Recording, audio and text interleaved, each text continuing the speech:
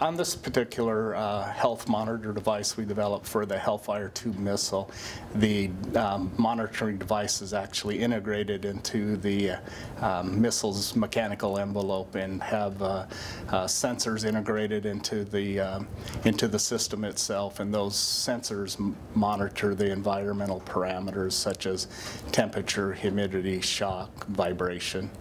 uh, that the item's exposed to, and then through some custom algorithms provides uh, real-time data to, um, to the soldier that's going to load that onto a helicopter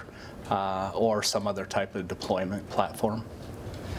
So in my hand here I have one of the uh, Hellfire 2 health monitoring units that gets attached to the missile. This becomes a data logger as well as a real-time readiness indicator of the, the health of the missile itself. So by pushing this user interface, a series of LEDs will light going across to indicate those lights are working correctly and then it'll cycle back through with each individual LED being illuminated and then a value that's associated with that. And then the soldier at this point point would be able to use that data to indicate if he's going to load that asset, in this case a missile, onto the helicopter or not. So any red light indicator would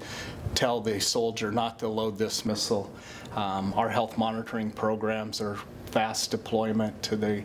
to fulfill a need that our military client has. And so for us, it's making an impact putting hardware and technology in the field as soon as we can for the use of our soldier and protection of our forces.